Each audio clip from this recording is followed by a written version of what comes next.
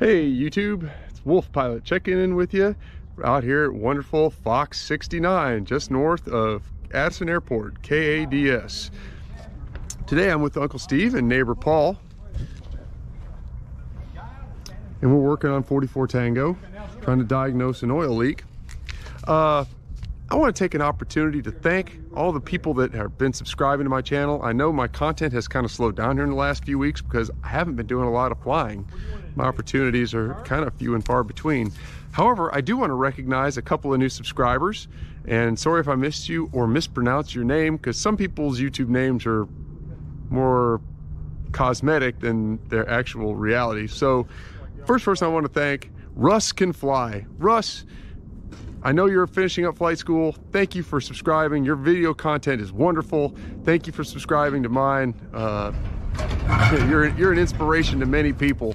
So Russ can fly. Uh, let's see, Steve.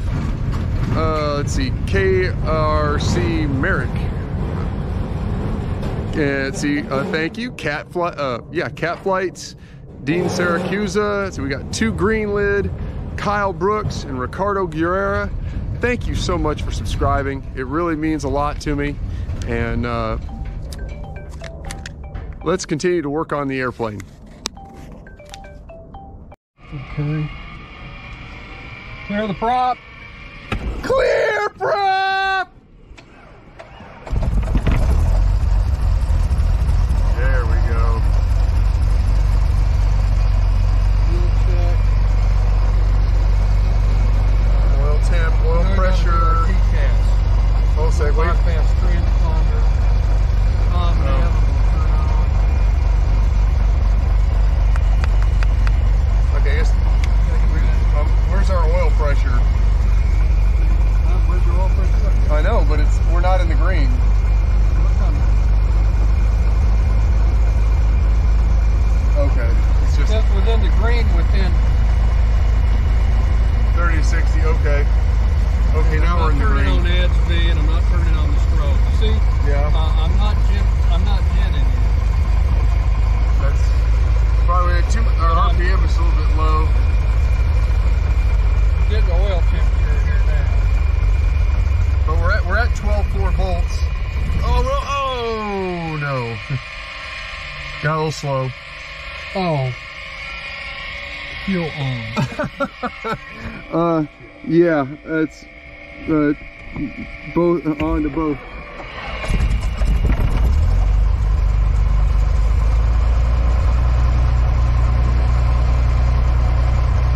I have fuel on in here? Yeah. Yeah, fuel selector to both. Okay, here's the timer.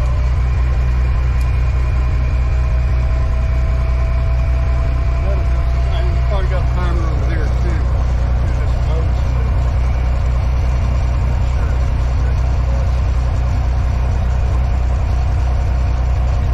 There we go. Now that one's fine. Okay, now we should have oil pressure.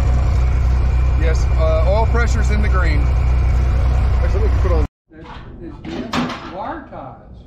All right, so in today's technical episode of Working on 44 Tango, Uncle Steve and I are attempting to diagnose an oil leak. And Paul. And Paul, you forget it. So, Oh, you're right. hey, Paul, say hi to all our wonderful YouTube viewers. Hello, So- YouTube world. So, uh, what we've got here is a adventure. Leak finder leak detection kit. The leak detector dye, you put basically one one ounce of this stuff into the oil, and then you run the engine, and then you use a black light, a black light to attempt to find leaks. So we have a fluorescent, big fluorescent black light, and this flashlight here from Harbor Freight, which is a black light. And if we, if there's an oil leak, what we should see is uh, it should fluoresce yellow. And we already uh, took the oil filler cap off, You're gonna kill me. What? Oil filler cap off, and look, shine the light down there. So we know we know it fluoresces. The interesting thing we're finding is that other stuff fluoresces in here too. Wires, uh, different ma- uh, mating surfaces where the paint stops and you go to metal. The gaskets fluoresce a little bit, but they fluoresce kind of a green, not the bright yellow that should look kind of like the yellow in this wire if that shows up here. What are you talking about? it peeled that paint on everything. See, see where it got on this right here. You just peeled that paint right back on it. That carburetor cleaner did. See. That's not carburetor cleaner.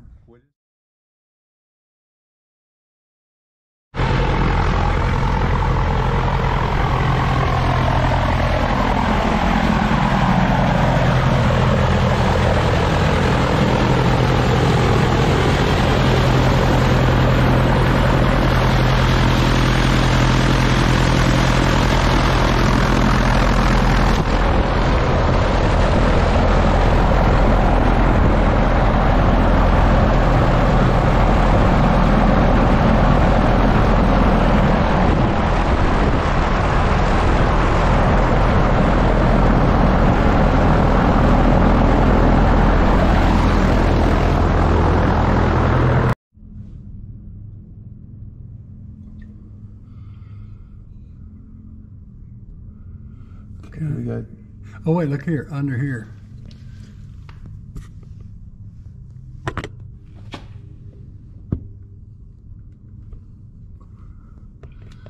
You see, oh, those, yeah, this those GoPros getting that real good.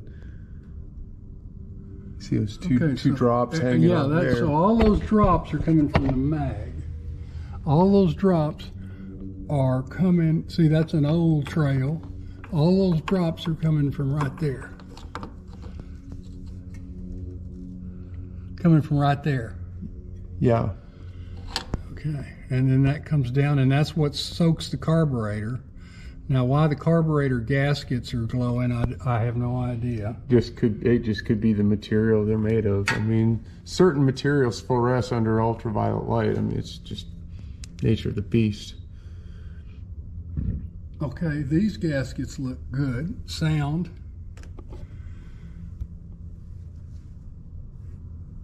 Let's go. This gasket looks good. Now let's look up under under the. the uh, look at the. Uh, what am I trying to say? Where the pan connects onto the to the block without grab, grabbing the carburetor exhaust. Look up here. What's this? Oh, it's all that color, isn't it? Is Yeah, that- it's weird why that is fluorescing, but it, I mean, it's dry. It's, it's dry fluorescing.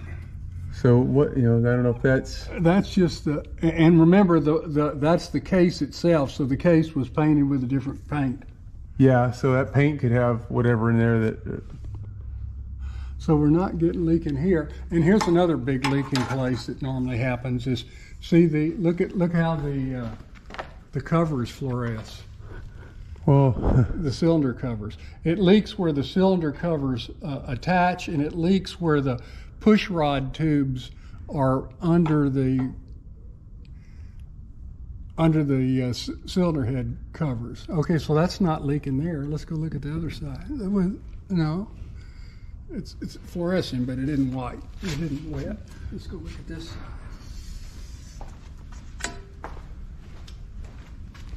Let's look up under here. Oh, it's the same way. It's it's dry though, but it's the same fluorescing. And then under here, look at the wire ties. We know they're not leaking.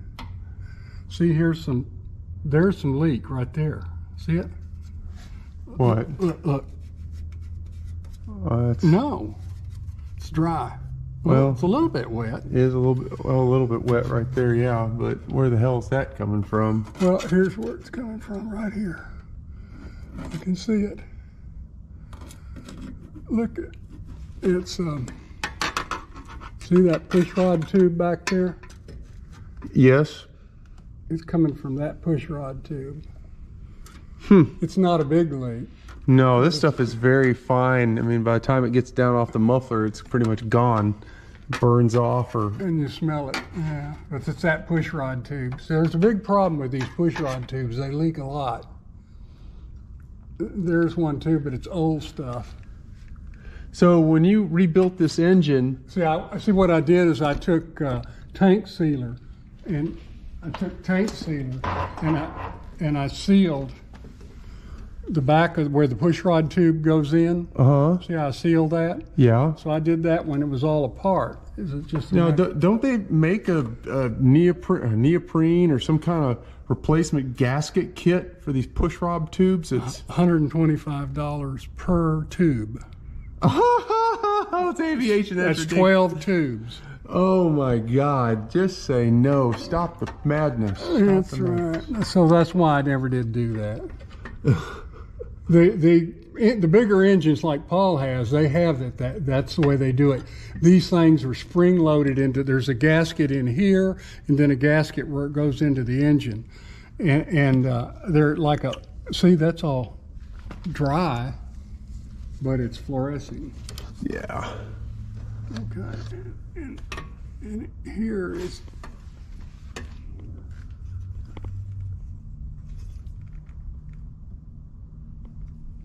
Well, once you get it on your hands, you can you never can get it off. But this is not le- this is leaking little, but it's for another test. Well, let's look at the other mag now.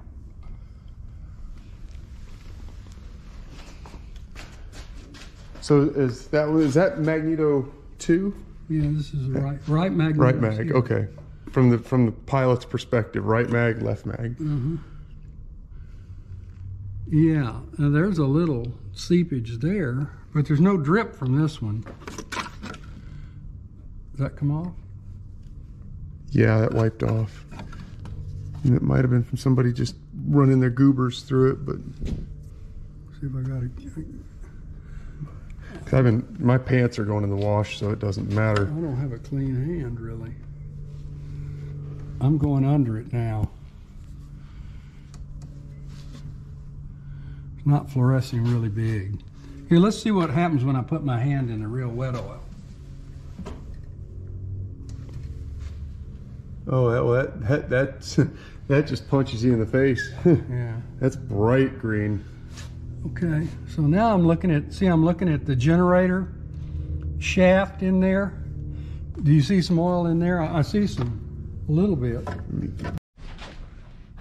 All right, just to show you guys, do a quick little thing here. I'm going to pop off the filler cap.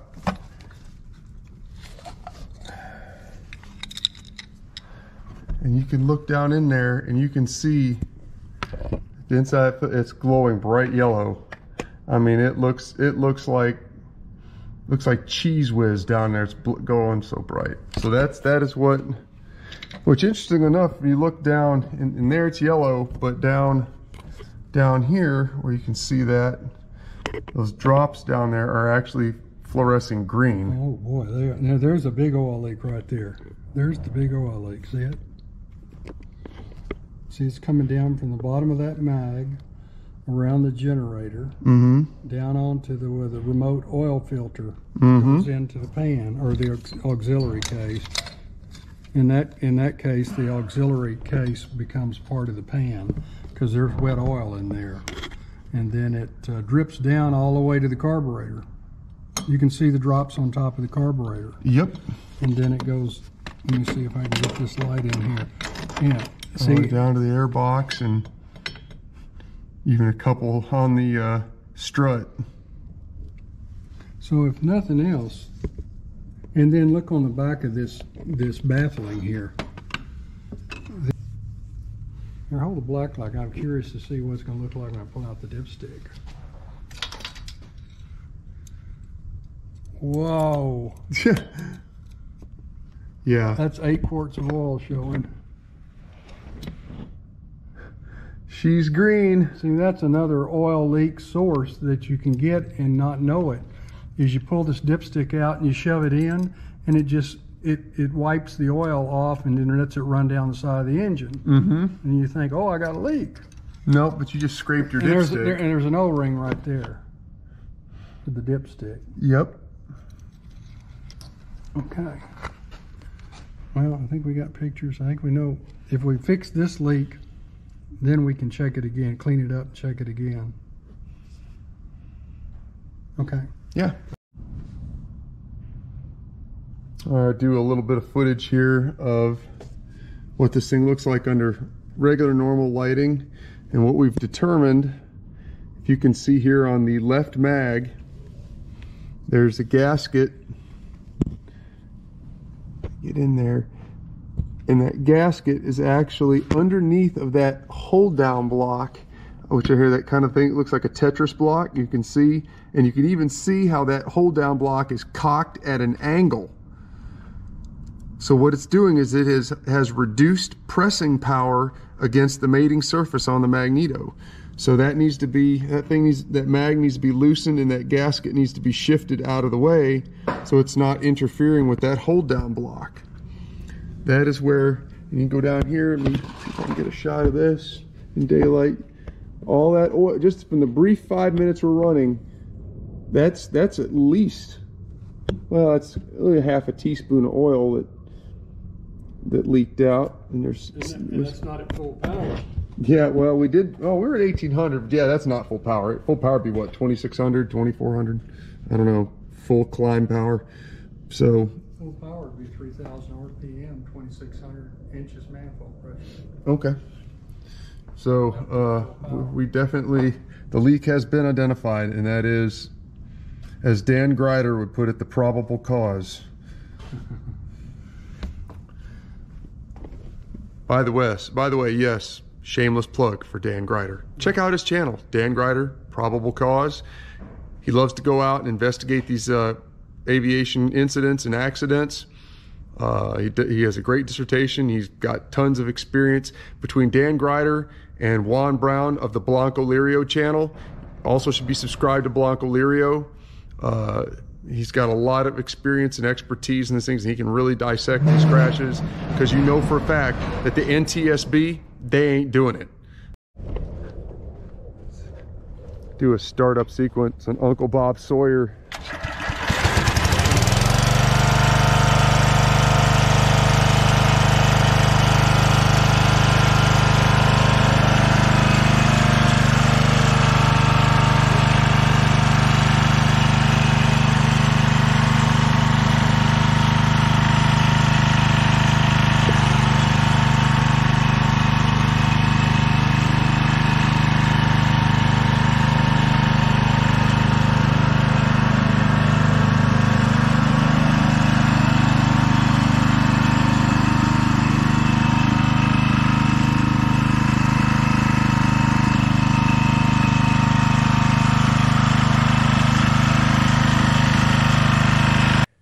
thanks for watching my video.